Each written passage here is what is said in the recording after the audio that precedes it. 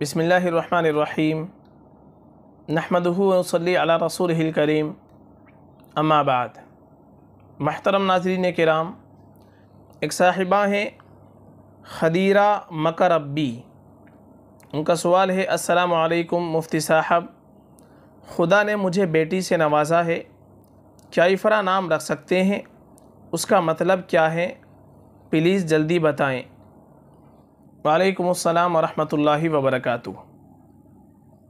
افرح، اگر یہ لفظ ہو افرح، حمزہ کے نیچے زیر کے ساتھ اور آخر میں ہا کے ساتھ افرح۔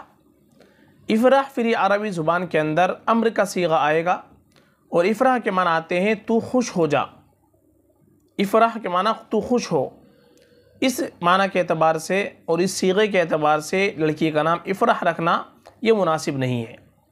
اور اگر اس کو ہم پڑھتے ہیں افرح، تو افرح کے معنی آتے ہیں بہت زیادہ خوش، بہت زیادہ خوش و خرم۔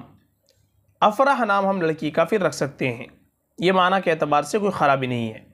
اور اسی سے ملتا جلتا ایک نام آتا ہے فرح۔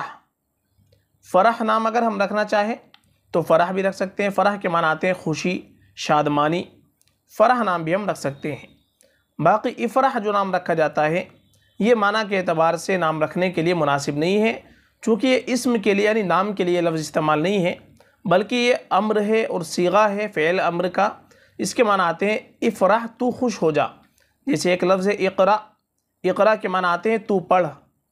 اسی طریقے سے افرح کے معنی آتے ہیں تو خوش ہو جا۔ جسے کسی کو حکم دیا جاتا ہے بھئی تو خوش ہو۔ تو لڑکی کے لیے افرح نام رکھنا یہ مناسب نہیں ہے۔